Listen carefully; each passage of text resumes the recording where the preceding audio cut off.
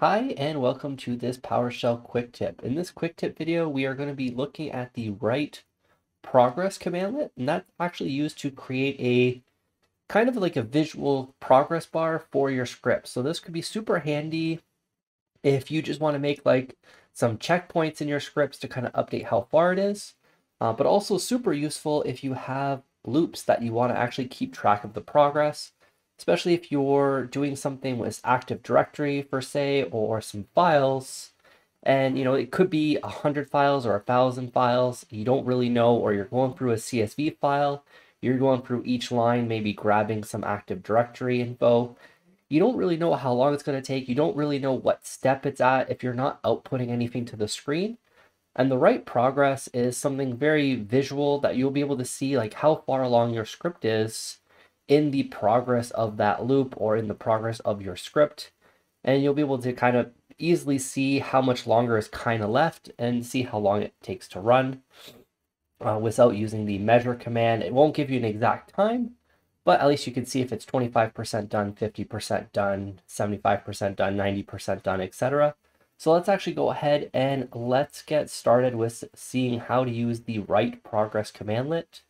Now, one thing to note in Visual Studio Code, sometimes I do notice with the way that this window is configured anyways, it does not work at 100%. We will see the progress bar, but it will look a little weird. So I will show you guys once we finish writing the script, I will actually show you guys what it looks like in the PowerShell 7 console and as well as the PowerShell ISE. So let's actually go ahead and let's get started. So the first thing that we're going to want to do is actually create some objects because we're going to be doing it with a for each loop. So we're going to be creating uh, two arrays because um, I want to show you guys a inner and outer uh, loop. And you can actually track progress separately for those. So let's go ahead and let's just create our first um, array of objects here. We're just going to call this outer. And we're going to make this equal to an array of numbers 1 to 10. So if you guys haven't seen some of the other videos where I've used this before, I don't use it very often. Uh, so we're just creating a variable called dollar sign outer. So the dollar sign is the variable, the variable name is outer. And this is a array, so the at symbol with the parentheses, and then the 1 dot dot 10 actually creates that span, which is going to be creating the objects with the number 1 through 10. So if we actually run this here and we actually look at what is inside outer, we will see numbers 1 through 10 appear on the screen. So that could be something very useful for you guys for uh, some other scripts if you guys ever want to generate a list of numbers without writing them all out. Uh, that is something that could be very useful. So let's actually do an inner object as well. And we're going to create that one 1 through 100. Now we just want to actually see a very basic progress bar first. Uh, so all we're going to do is we're just going to work with the outer object first. We're going to do a for each. And we are going to do a dollar sign X in outer. And let's go ahead and open those curly brackets. And all we are going to do here is we also need to initiate a counter right before the uh, for each loop here. So we're going to do a counter equals one. And all we want to do is a write dash progress. And here what we're going to do is we're actually going to put an ID. IDs are really only necessary if you have multiple write progresses since we already know that we do want two of them, uh, and it is kind of a, just a good practice to insert the ID. So we're going to put ID of one. We are going to do activity. We are just going to do a loop for now as, as our activity. The status, so the status is actually a string of, you can say progress, or you can actually put the percentage of what it is completed. That's what I usually like to do. Uh, so what I like to do usually is just do a variable wrapper in here. And then I like to do a uh, another set of parentheses in here. And what we're going to do is we're going to do a counter divided by outer dot count.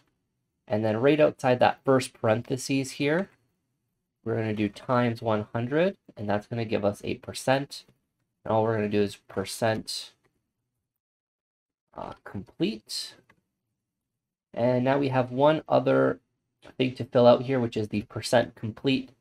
All we need to do at that point is copy our little formula from here and put that in there. So that should work. Now the only other thing that we need to do after the write progress is because we have a counter, we need to do a counter plus plus. Now in this situation, because we're just using numbers, we could have used the dollar sign X instead of counter. Uh, but I just want to pretend that these are objects that might be Active Directory objects or anything like that where we can't really use them as a number. Uh, so we do need a counter there. So let's actually go ahead and let's just see how this looks like in Visual Studio Code. And the only thing that we're going to do just to make it, because there's only 10 objects, this will go very, very quickly, is we are going to do a start sleep in milliseconds, and we are going to do 100 milliseconds between each interval just to make it visible here. So there is our script. So there it is. It is complete. Now, as you noticed, if I run this again, you're going to notice that it kind of stays right here. It doesn't actually progress all the way through 100. Once it gets to 100, it's done. It it looks good, um, but it's the progress of like once it gets like 40 or 50%, kind of shrinks back down. But let's actually go ahead and let's see what it looks like in our PowerShell 7. So I am actually already, uh, let me just see if I can zoom this in here a little bit more for us, just to, for you guys to be able to see it. So I'm already in the folder directory of where my script is here. So let me just run my script. And there it is. So as you can see, you can see the progress bar appear. Everything looks great. And even if I open it up in PowerShell ISE and we run this, this will actually have a little pop-up appear and it shows it. And then once it's done, it disappears. So it does actually work very, very well.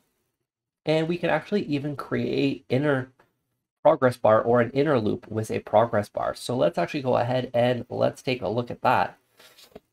So what we're going to do is right after the first write progress here, um, we actually we're going to do that we are going to put our loop right before the write progress because technically the outer loop isn't done doing its thing till the the inner loop is complete really um, so let's do a for. so let's do a inner counter is going to equal to one because we still need a counter variable for the inner loop and we're going to do a for each and we are going to do a dollar sign y in inner And let's do an open and close parentheses here. And then what we're going to just do is we are actually going to copy paste this code basically. And we are going to put the ID for the inner loop as 2. And we are just going to put the activity as inner loop the progress Uh, as outer loop. I might actually have to change the order of these, but we're just going to try this like this. And then all the only thing that we need to change here is the inner count and inner counter, inner counter, and then inner here, then the inter inner counter here as well. All right, so that should work fine. Now, in this situation, we are actually going to see that Visual Studio Code does not really like this at all. Uh, so if we actually run this, we're going to see the inner loop, uh, but we're actually never going to see the outer loops um, start here. So let's just wait for this to finish here. Oh, it actually did work. Uh, so actually earlier in my test, this actually did not work. Um, but here we actually have our inner loop, so it is looping through, and here we can actually see how the percentage complete looks a little weird till the 100, um, and then kind of it starts to work properly and then it kind of shrinks back down. And we can see our outer loop here as well. So everything is definitely seeming to work really, really good here. We have our inner, we have our outer loop progress. So you will be able to see your different progresses. Now, if you wanted your outer loop on top, you would have to actually do the write progress before the write progress of the inner loop. It does go in order of the, the way they appear, and not necessarily the ID. The ID is just used to identify which progress bar to update. Um, the activity is just simply a label. The ID is what identifies the progress bars. So if we wanted to actually see that here, let me just stop the script here.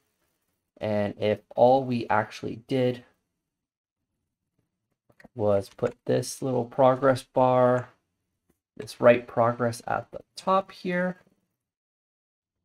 and we restarted this code, we will see that the outer loop now appears at the top and the inner loop appears at the bottom. This might be what most people are kind of used to, seeing that the outer loop is on top and then the inner loop at the bottom. That is usually how most of the uh, pre-built PowerShell commandlets do work when they use the progress bar. So let's actually go ahead and let's save this code.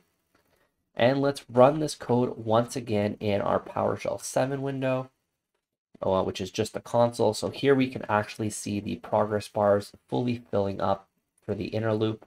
And then once the inner loop fills up, we should see the outer loop uh, increase and then the inner loop starts to fill up again. And then once that inner loop finishes, the outer loop will increase and so on and so on till the outer loop completely finishes. Uh, so this again is just to add a very nice visual feel to your scripts because especially if you're just doing some calculations in the background of like comparing some data in like two CSV files or comparing data between a CSV file and your Active Directory. Maybe you don't want to print that stuff constantly to the screen, but then you have no idea really how far you are in your script. And even if you are outputting the data into your screen, you don't necessarily know what position that user is in in the file that you're comparing maybe. So you don't really know how far along it is, whereas these progress bars will give you a very, very good visual of how far along the script is, give you kind of a good idea of how much more time it's going to possibly take. And the other thing that we can also look at is if we look at it in our PowerShell ISE here, and we run this, we will actually see that we do have an outer loop and an inner loop. So this code works fantastic in PowerShell 5.1, 7.2, really doesn't matter. The only time that it really kind of runs a little weird is when you're running the code directly in Visual Studio Code. I've noticed that sometimes it looks a little off at times, um, but most of the time it does work uh, fantastic. So that is it for the write progress commandlet. If you guys have any commandlets that you guys would like me to do a video on, please let me know in the comment section. If you guys have any comments or questions, please let me know in the comment section as well. Please be sure to hit that subscribe button, hit that like button, also hit that notification bell to be notified when that next video comes out, and I will see you guys on the next video.